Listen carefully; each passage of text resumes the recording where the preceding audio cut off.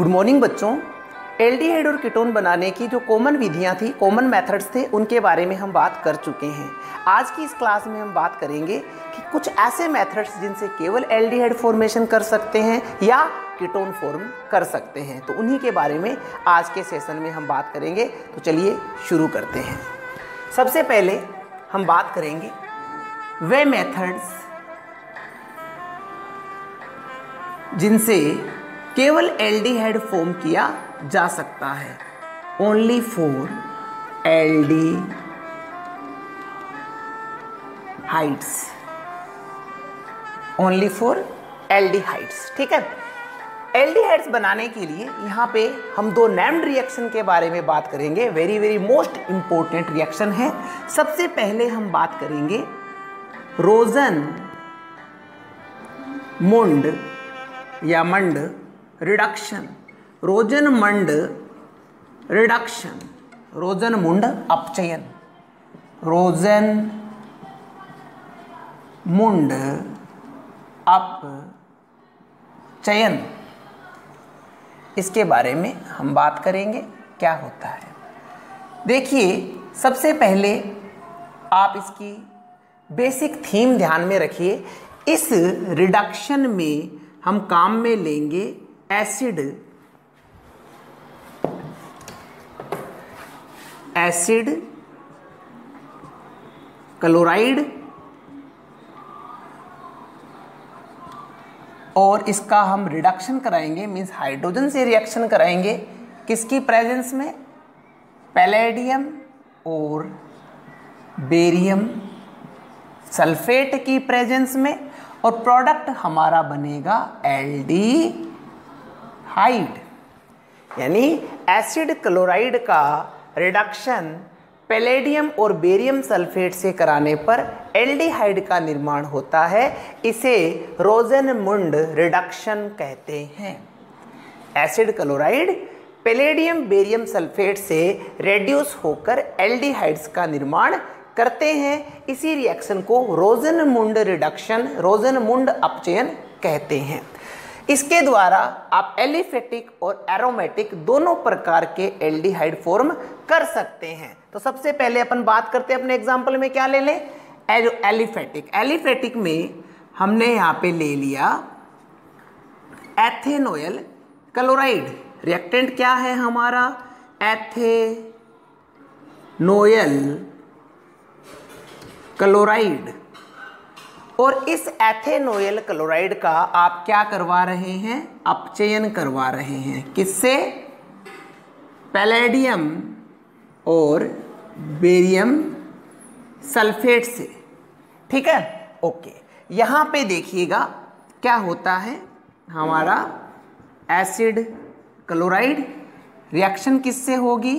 Hydrogens के साथ में। ओके। अब देखिए यहाँ पे क्या होगा, यहाँ से Cl Cl की नेचर कैसी है? इलेक्ट्रोनेगेटिव Cl बाहर निकल रहा है। इलेक्ट्रोनेगेटिव का बाहर निकलना क्या कहलाता है? रिडक्शन क्या कहलाता है? रिडक्शन Cl की जगह पर आ रहा कौन है? हाइड्रोजन हाइड्रोजन का जुड़ना भी क्या कहलाता है? रिडक्शन तो जो Cl बाहर निकला, उसकी जगह पे कौन आ गया? एक हाइड्रोजन बचा है उस हाइड्रोजन के पास कौन जाएगा? Cl. क्या बना लेगा? एच HCl ठीक है ना? तो को प्रोडक्ट तो क्या बन गया? HCl और मेन प्रोडक्ट क्या होगा हमारा देखिए? C H three C double bond O Cl तो गया, इसकी जगह पे कौन आया? H. अरे, ये तो एल्डिहाइड बन गया। क्या बना? एल्डिहाइड तो यहाँ पे प्रोडक्ट क्या होगा हमारा? C H three C double bond O H plus H C L किसका फॉर्मेशन हो गया? एसिटेल्डिहाइड का. क्या बना यहाँ पे? एसी टेल्डी हाइड प्रोडक्ट क्या है? एसिटेल्डिहाइड इस रिएक्शन में पैलेडियम कौन है? रेड्यूसिंग एजेंट रेड्यूसिंग एजेंट यानी कि अपचायक. पैलेडियम क्या है? अपचायक. जबकि बेरियम सल्फेट क्या है? पॉइजन पॉइजन विष. आप कहेंगे, ये विष क्या होता है? देखिए, अगर इस रिएक्शन में बेरियम सल्फेट काम में नहीं लिया जाता तो यहाँ पे पहले एल्डिहाइड का निर्माण होता। एल्डिहाइड फिर से हाइड्रोजन के साथ पैलेडियम की उपस्थिति में क्रिया करके और क्या बना लेता? C H three C H two O H यानी एल्कोहल का निर्माण कर लेता। किसका निर्माण कर लेता? एल्कोहल का निर्माण कर लेता। कब? जब आप इस रिएक्शन में बेरियम सल्फेट काम में नहीं लेते, यानी रिएक्शन आगे चली जाती। अब इसी रिएक्शन को रोकने के लिए क्या काम में लिया गया? बेरियम सल्फाइड किसके बेरियम सल्फेट किसको रोकने के लिए? रिएक्शन को आगे जाने से रोकने के लिए। और रोकने के लिए काम में ले रहे हैं, इसीलिए इसको क्या कहा गया? पॉइजन विष। तो बेरियम सल्फेट का इस रिएक्शन में क्या काम है? बेरियम सल्फेट इस अभिक्रिया में विष का काम करता है, जिससे यह रिएक्शन एल्डिहाइड पे रुक जाती है। एल्डिहाइड आगे एल्कोहलों में अपचयित नहीं होते हैं। और इसके लिए क्या काम में लिया आपने? बेरियम सल्फेट केवल पेलेडियम लेते क्या बनता? एल्कोहल साथ में बेरियम सल्फेट ले लिया रिएक्शन कहाँ पे रोकेंगे? एल्डिहाइड पे। इस रिएक्शन से क्या कर सकते हो आप? जो आपका एसिड क्लोराइड है, उससे आप एल्डिहाइड बना सकते हो। आगे एल्डिहाइड एल्कोहल में अपचयित नहीं होगा, क्योंकि बेरियम सल्फेट यहाँ पे विष का पॉइजन का काम करेगा। इसमें एलिफेटिक भी बना सकते हैं और एरोमेटिक कंपाउंड भी फॉर्म किए जा सकते हैं। एरोमेटिक कंपाउंड कैसे फॉर्म कर सकते हैं? देखो एरोमेटिक एल्डिहाइड बनाने के लिए भाई रिएक्टेंट भी क्या होगा? एरोमेटिक होगा। ठीक है? क्या ले लिया आपने? Benzoyl chloride. Benzoyl chloride. Same reaction कोई डिफरेंस नहीं है, क्योंकि प्रोडक्ट क्या? प्रोडक्ट डिफरेंट आएगा रीजन जैसा रिएक्टेंट वैसा ही आपको प्रोडक्ट फॉर्म होगा। देखिएगा। सी डबल बॉन्ड ओ हाँ जी सेम प्रोसेस होगी। सी की जगह कौन आ जाएगा? हाइड्रोजन एच सी एल क्या बन गया? बेंजल्डीहाइड बेंजल्डी बेंजल्डी हाइड किसका निर्माण हो गया? बेंजेल्डिहाइड का यहाँ पे फॉर्मेशन हो गया। दिस इज़ रोजन मुंड रिएक्शन यहाँ पे भी देखिए, आगे में रेड्यूस हो जाता? एल्कोहल में। बेंजिल एल्कोहल का निर्माण हो जाता कब? जब आप बेरियम सल्फेट काम में नहीं लेते, पर बेरियम सल्फेट ने यहाँ अपना काम किया, किसका? पॉइजन का, विष का, और आपको बेंजेल्डिहाइड प्राप्त होता है। तो ये है आपका रोजन मुंड अपचेन ठीक है? आगे, क्या इस रोजन मुंड अपचेन से फॉर्मेल्डिहाइड का निर्माण किया जा सकता है? तो चलिए बात करते हैं। रोजन मुंड अपचेन से क्या फॉर्मेल्डिहाइड फॉर्म किया जा सकता है? देखते हैं।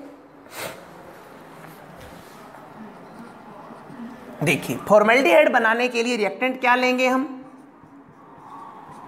मैथेनोयल क्लोराइड मैथेनोयल क्लोराइड ठीक है? सेम हियर रिडक्शन करवाएँगे। किससे? पैलेडियम और बेरियम सल्फेट से। क्या करेगा? अपन ने सीख रखा है। H plus H C L ये क्या फॉर्म हो गया? फोर मेल्डी हाइट ठीक है? चलो आप कहोगे फॉर्मेल्डिहाइड बन गया सर बहुत बढ़िया बना। हमने सीख लिया, बना दिया। बट इस फॉर्मेल्डिहाइड को हम यहाँ पे बोर्ड पे तो बना सकते हैं, पर प्रैक्टिकली नहीं बना सकते हैं। क्यों नहीं बना सकते हैं? रीजन क्योंकि methanoyl chloride is very very unstable अस्थाई मैथेनोयल क्लोराइड क्या है? एक अस्थाई, बहुत ही अस्थाई यौगिक है और यह स्थायी नहीं है तो अस्थाई यौगिक से आपका फॉर्मेल्डिहाइड फॉर्म करना संभव नहीं है। अस्थाई का मतलब क्या होता है? इस फॉर्म में ये रहता ही नहीं है। तो जब आपको एसिड हेलाइड क्लोराइड प्राप्त ही नहीं हो रहा है तो उससे आप फॉर्मेल्डिहाइड कैसे फॉर्म कर सकते हो? ये अस्थाई है, आपको प्राप्त नहीं हो रहा है। तो ये प्राप्त ही नहीं हो रहा तो आप अपचेन किसका करवाओगे? और अगर इसका अपचेन नहीं होगा तो आपको फॉर्मेल्डिहाइड यहाँ पे प्राप्त नहीं होगा। यानी यह रिएक्शन नहीं होती है। तो कहने का मतलब क्या है? इस रिएक्शन में क्या होगा? रोजनमुंड अपचेन से आप फॉर्मेल्डिहाइड का निर्माण नहीं कर सकते हैं। क्यों नहीं कर सकते हैं? क्योंकि मैथेनोयल क्लोराइड अस्थाई होता है अनस्टेबल होता है। तो रोजन मुंड अपचेन में तीन चीज़ें आपको ध्यान में रखनी है। एसिड क्लोराइड से एल्डिहाइड फॉर्म किया जाता है।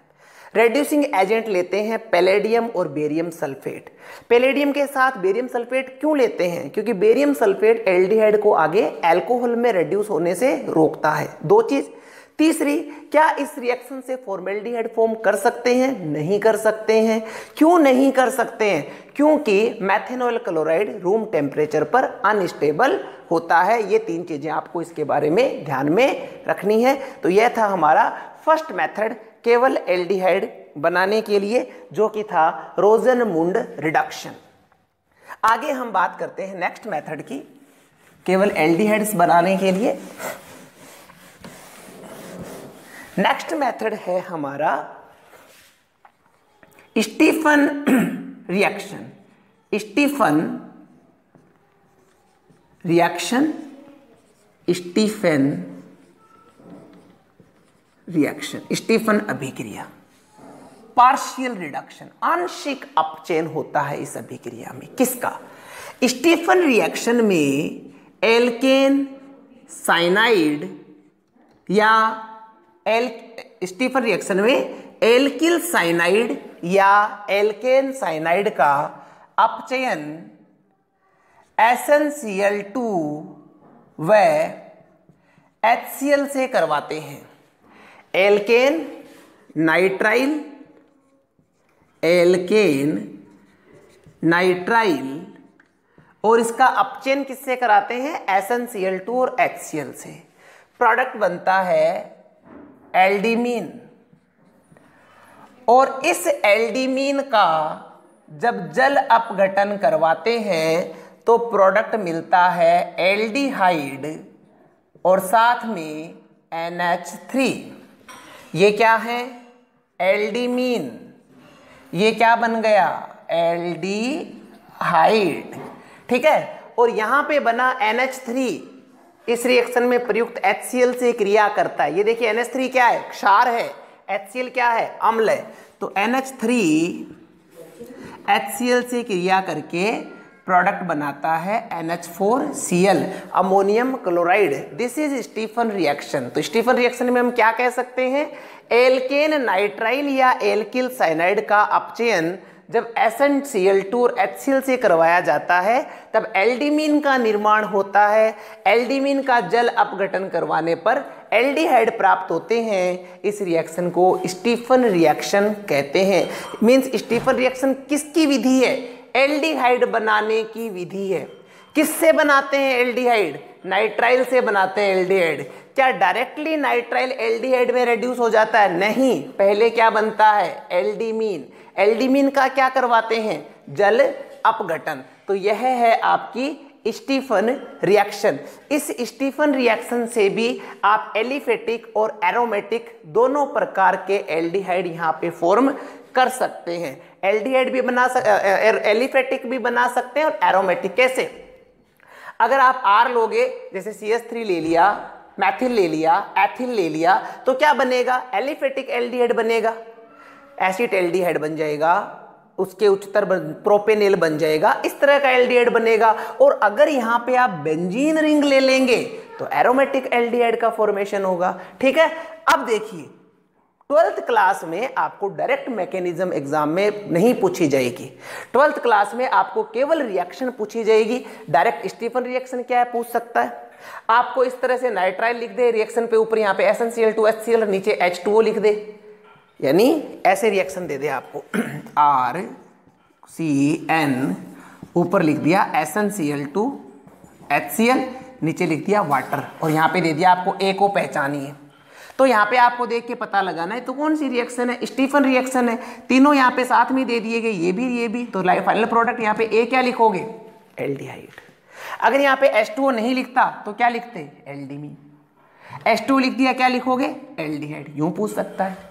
ठीक है ना? तो रिएक्शन स्टीफन नाम दे के पूछ सकता है। इस तरह से आपसे रिएक्शन पूछ सकता है। ध्यान में रखिएगा।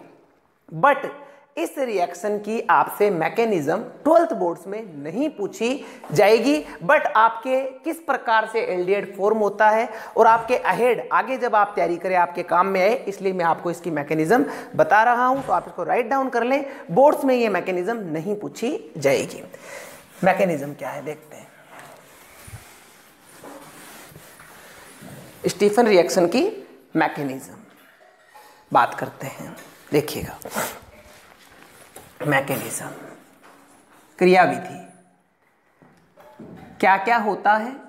सबसे पहले हमने ले रखा है S N C L two S N C L two H C L के साथ रिएक्शन करता है और बना लेता है S N C L four plus H plus ठीक है? अब इस रिएक्शन को बैलेंस कर देते हैं टू और ये टू एच प्लस इस रिएक्शन में वास्तव में हुआ क्या है? एसन यहाँ पे देखिए एसन टिन कितने क्लोरिनों से जुड़ा हुआ है? दो से.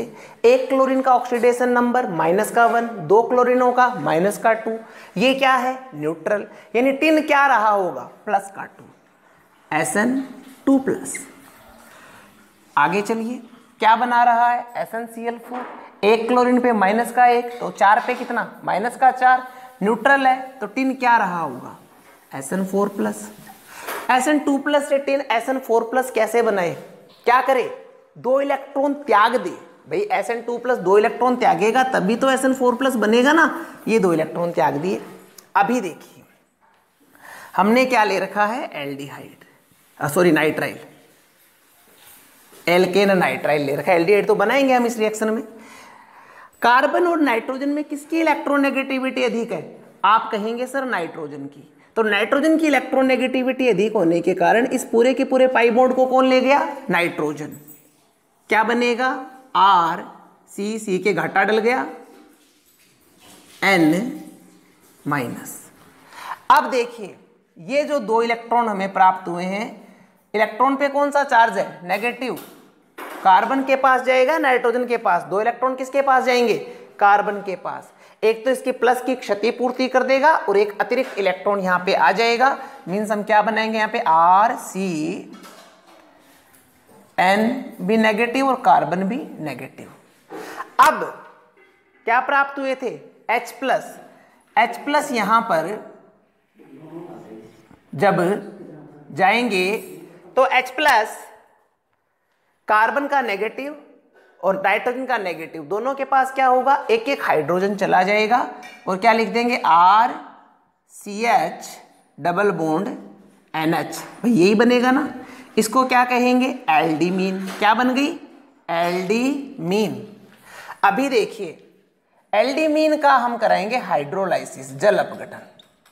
एल डी मीन का क्या करवा रहे हैं? जल अपघटन। देखिएगा भाई, अगर ये बोन्ड टूटता है तो कार्बन पे क्या आएगा? पॉजिटिव, नाइट्रोजन पे क्या आएगा? नेगेटिव। रीजन आपको पता है, इलेक्ट्रोनेगेटिविटी डिफरेंस के कारण। कार्बन पे पॉजिटिव, नाइट्रोजन पे नेगेटिव। जल अपघटन का मतलब H प्लस और OH माइनस कहाँ OH माइनस जुड़ेगा, कहाँ H प्लस जुड़ेगा, देख लीजिए। कार्बन पे क्या जुड़ेगा? OH माइनस जाएगा। नाइट्रोजन पे कौन जाएगा? H प्लस तो हम क्या लिखें इसे? R C H O H N H और ये गया एच नाइट्रोजन पे कौन गया? H R C H O H N H ये वाला एच ठीक है? अब देखिए NH2 एक वेल लिविंग ग्रुप होता है, एक छोड़कर जाने वाला समूह होता है NH2 माइनस तो NH2 माइनस यहाँ से बाहर निकलेगा. कैसे निकलेगा? इस पूरे इलेक्ट्रॉन को अपने साथ ले जाएगा. अब इलेक्ट्रॉन को तो साथ में ले गया, पर ऐसा करने से कार्बन के क्या हो गया? घाटा हो गया।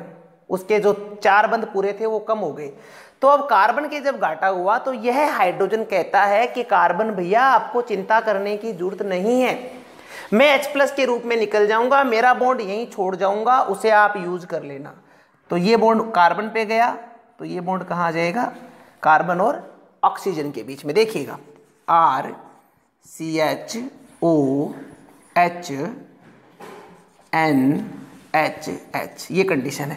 ये बॉन्ड टूटा, पूरा नाइट्रोजन ले गया नाइट्रोजन पे क्या आया? माइनस ये बॉन्ड टूटा, पूरा का पूरा बॉन्ड किसने ले लिया? ऑक्सीजन ने एच पे क्या आया? प्लस ऑक्सीजन का नेगेटिव यहाँ पे क्या करेगा? बॉन्ड बना लेगा। एच पे प्लस है नाइट्रोजन पे माइनस है, क्या बना लेगा? NH3 फाइनल प्रोडक्ट क्या होगा? एल्डिहाइड और अमोनिया फाइनल प्रोडक्ट यहाँ पे क्या ऑप्टेन कर रहे हैं आप?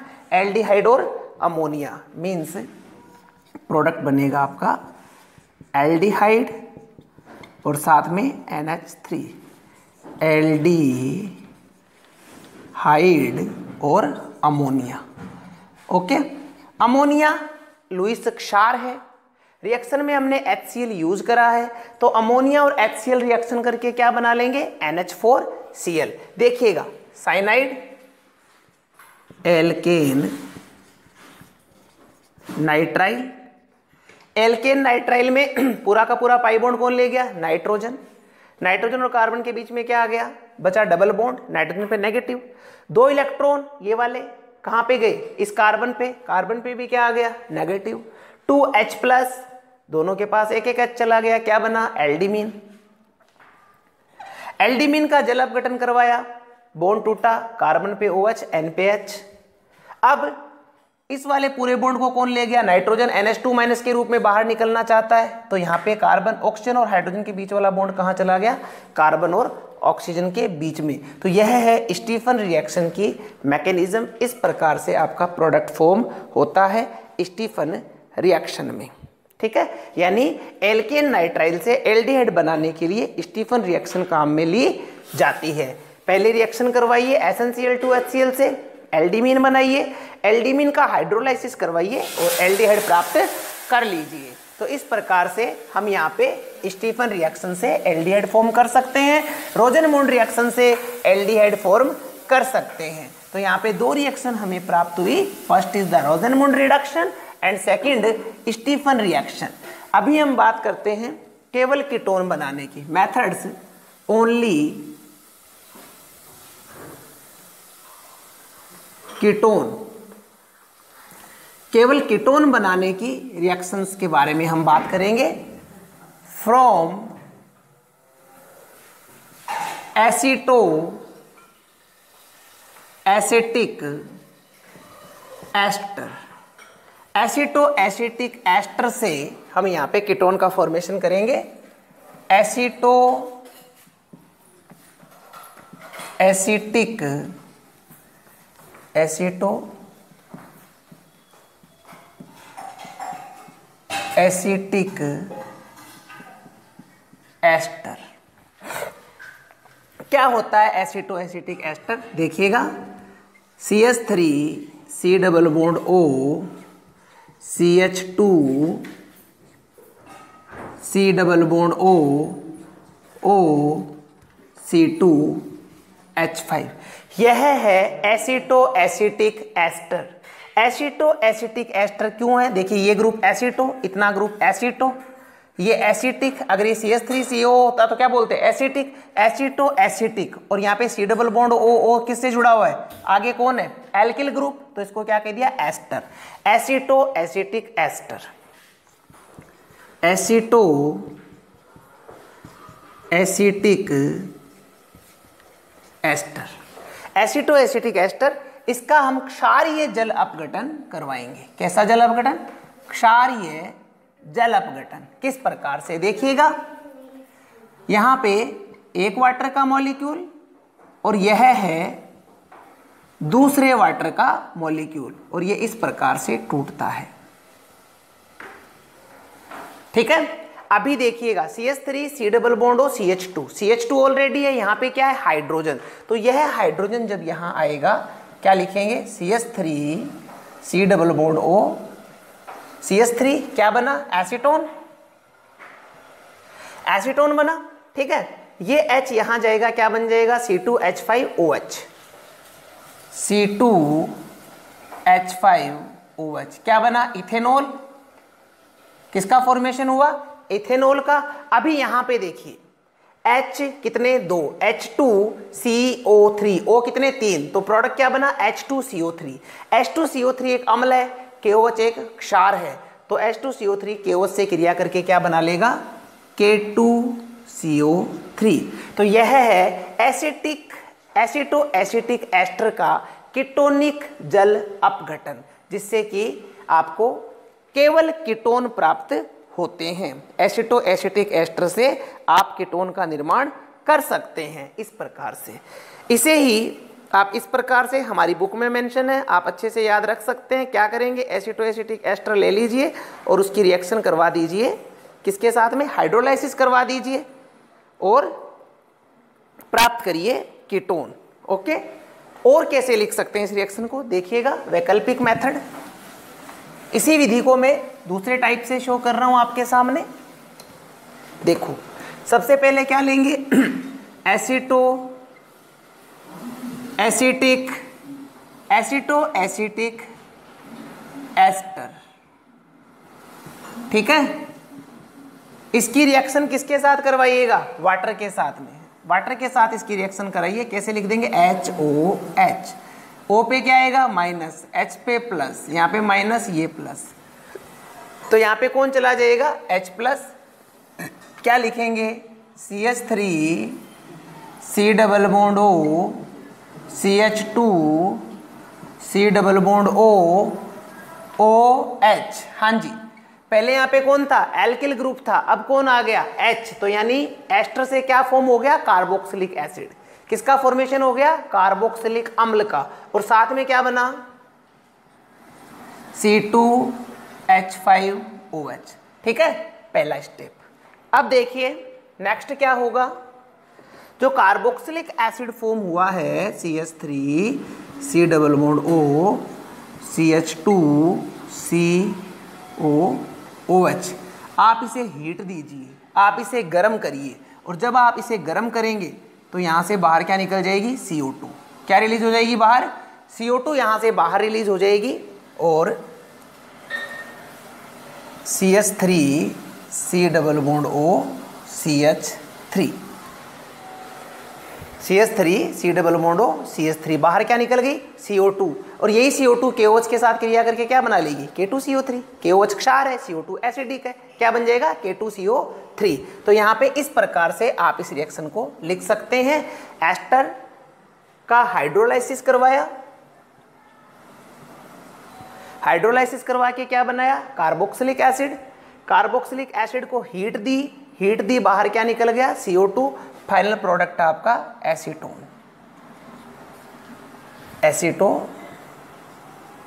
एसेटिक एस्टर इस रिएक्शन के बारे में एक बात आप ध्यान रखिएगा कि यहाँ पे ज़रूरी नहीं आप एसिटो एसिटिक एस्टर लें। आप इसका डेरिवेटिव भी ले सकते हैं। आप इसका व्युत्पन्न भी इस इस रिएक्शन में यहाँ पे काम में आप ले सकते हैं। ठीक बात है?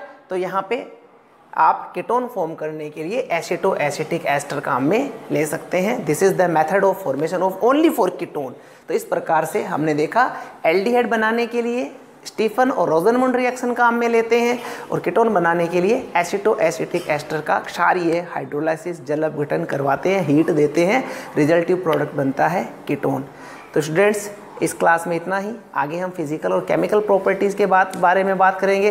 तब तक पढ़ते रहिए, मस्त रहिए, स्वस्थ रहिए। Wish you all the best thank you very much मिलेंगे अगली क्लास में।